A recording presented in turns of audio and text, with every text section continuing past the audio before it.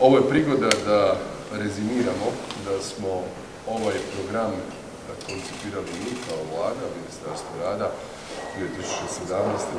2018. godine i da je on zaista e, polučio izrazito kvalitetan i dobar efekt. Naime, kada se gleda kumulirano e, četiri poziva kroz proteklih e, sedam godina, ukupno je alocirano 770 milijuna eura za ova četiri poziva.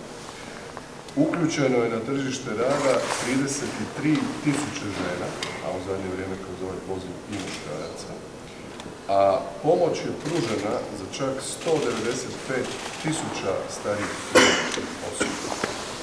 Smisao ovakvog programa koji je naš, ja bih rekao, proizvod u političkom smislu kao instrument djelovanja socijalne politike, van institucionalne skrbi, a osobito u ruralnim dijelovima zemlje, je da smo na taj način e, vratili na tržište rada žene u dobi od 50 plus godina u sredinama gdje bi one inače jako, jako teško našli neki posao na prilikama tržišta rada u sredinu